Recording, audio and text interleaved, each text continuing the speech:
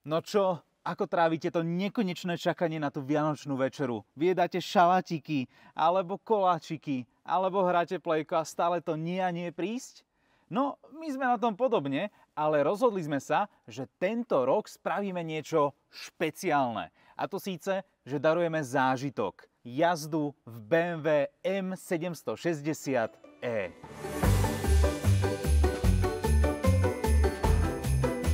Tak sme teda vyrazili na frekventované miesta, kde ľudia čakajú na MHDčku a urobili sme im súkromný odvoz. Plus sme na strechu dali stromček, aby si nás všimli naozaj všetci. 15.30 sme tam. OK. Jo. Dobre, teším sa, že môžem robiť rovno dobrý skutok. Takže už máme nášho prvého v úvodzovkách zákazníka. Uh, môžem vedieť meno? Miro. Miro, vítam ťa. Si z Bratislavy alebo... Z ďalekého východu. O, z ďalekého východu, tak aspoň už takéto špičkové uvítanie do, do hlavného mesta. A ako sa ti to páči, to nejaký prvý dojem? Akože vizuálne je to veľmi krásne. Uh-huh. A čo hovoríš na ten súčasný dizajn BMWčka, lebo akože hlavne pri tejto sedmičke všetci boli takí, že, á, že má to taký prasačí mm. ňufák, že nevyzeralo to na tých prvých fotkách úplne dobre, ale teraz akože v realite, tak si už taký, že celkom... Akože bol to najprv šok, no, lebo však zostali v podstate ten dve ňufáky tie hlavné. Mm-hmm. Skôr tie delené svetlá mne tak trošku okay. prekážajú a celkom sa s tým dám dokopy, ale akože je to trošku zmena, konečne niečo iné, nedržia sa stále toho istého, čo no, držali. A ako tam je dojazd? Dojazd na čistú elektrínu je nejakých 50 km. Uh-huh a vlastne spotreba teraz v takomto hybridnom režime je 8,5 litra. Čiže akože na takéto obrovské auto, na 6 valec, tak to je, to je super. Akože aj všimol som si, že čo sa typka si ide so stromčekom, ako bol na kúpoch a neviem prečo ho má zasvietený, to bola druhá vec, ale však akože OK. No a túto skúsenosť nezabudnem určite. Dobre, nech sa ti páči. Ďakujem veľmi pekne. Teraz ti dávam výzvu, že otvor si dvere. Á, dobre, našiel si to tlačidlo. Tak bolo to veľmi príjemné, pohodlné. Určite by som chcel to vyskúšať aj ako vodič, ale ako z, pohľadu zadného pasažiera bolo to veľmi cool. Cítil som sa príjemne. Chalani, prosím vás, my robíme taký vianočný špeciál, kde vozíme ľudí. Nechcete sa previesť v novej sedmičke? Kam? Kam chcete vy? Tak poďte, poďte. Aj, počujete, toto dám medzi vás. No a ako sa vám páči auto? Aké sú prvé dojmy? Akože som inde z toho. Ale akože ja sa do aut nevyznám, ale toto je akože... A boli ste už niekedy v niečom takomto? Nie. Ja hej, raz hej, Bolt má taký bral v Bystrici, ale to tom príde, že ešte tak o, o level vyššie ešte. Koľko takéto niečo stojí? Vieš čo, sme tu niekde už za 200 tisíc toto už tak atakujeme, že 250.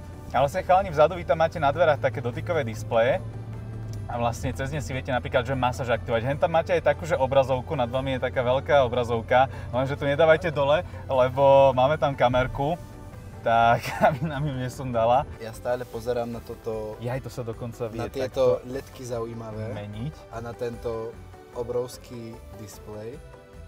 Hej, tu vlastne každý ten jazdný režim tak trošku Dobre cítim, že ono to masíruje. Áno, áno, áno, áno, to hovorím, že aj predné sedadla majú akože brutálnu masáž. Uha. Toto, si, toto, toto, si bude, toto bude vrchol môjho dňa, my sme totiž boli na konferencii Future Days. Mm-hmm. Koľko tak vyťahne takéto auto? No, väčšinou to BMW obmedzuje elektronicky na 250.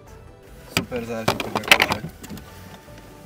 Nie. Toto bol, pravím, vrchol dňa. Teraz, že ako sa toto otvára. Tam je také tlačidlo. Tuto. Hej, hej, hej, hej. Ďakujeme krásne. Pre Boha, otvorte ma. Ja to neviem otvoriť asi. Otvorte ma. Jeden.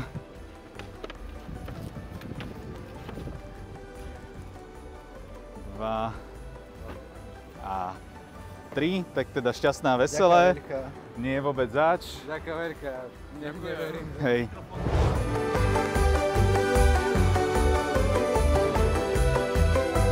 Iba stlačíte toto? Áno, áno. Bomba. Tadá!